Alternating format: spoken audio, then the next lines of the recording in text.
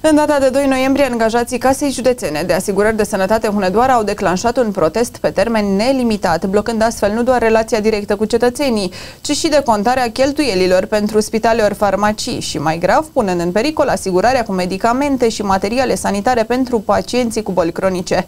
Valul de critici, nemulțumiri și comentarii vehemente i-a determinat pe birocrați să găsească o cale de a protesta, făcându-se că muncesc o oră și jumătate pe zi. În urmă cu cinci zile, la începutul protestului, cetățenii, plătitori de asigurări de sănătate consistente, conform legilor din România, mulți dintre ei cu boli cronice și care aveau nevoie de servicii sau documente eliberate sau decontate de Casa de Asigurări de Sănătate, s-au trezit în fața ușilor închise, fiind înștiințați printr-un afiș că angajații au declanșat un protest pe perioadă nedeterminată din cauze salariale. Dar ce nu este deschis? Uh, e protest. Doamne, a putut de ce o să serse din asta? Au afișul aici, uitați. Trebuia să spună el, nu mai venit că trebuie să-mi iau o hârtie de la el, Doamne.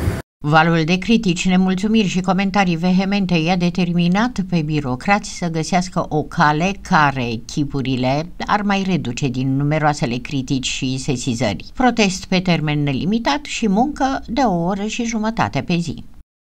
Protestul anunțat de către uh, sindicat se desfășoară între orele 9 și 16, iar programul nostru de activitate este între 8.30 și 17.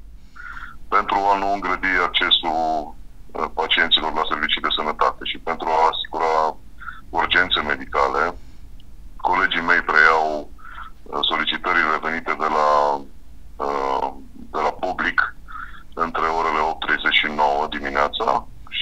16 și 17 după amiaza. Păi, e foarte important ca protestul colegilor mei să fie bineînțeles, este unul din punctul meu de vedere legitim și uh, tocmai pentru